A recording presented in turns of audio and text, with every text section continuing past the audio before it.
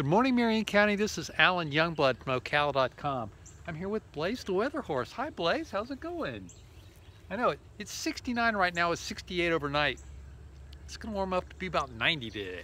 And it is clear. It's perfectly clear this morning. It's going to stay that way much of the day. Might get might get a few clouds building in, but you know I don't think there's much chance of rain. South Florida is going to get the rain. Miami especially. It's going to start over there. It's going to work its way west uh, maybe get to Fort Myers uh, a little bit, a little bit later in the day, huh, Blaze? But here, we're going to be in good shape. We still got that stationary front north of north of Florida.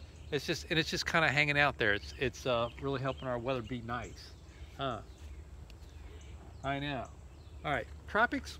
Yeah, there's really nothing to show you on the radar either. Uh, tropics, uh, the tropics are for us are pretty clear.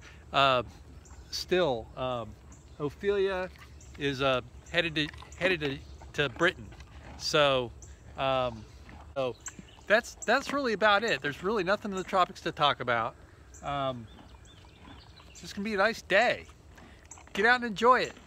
Um, Blaze, Florida, Tango are starving. We need to get them some breakfast and uh, get on with our day. Huh, Blaze? I know. So, have a great day, Marion County, and we'll see you tomorrow.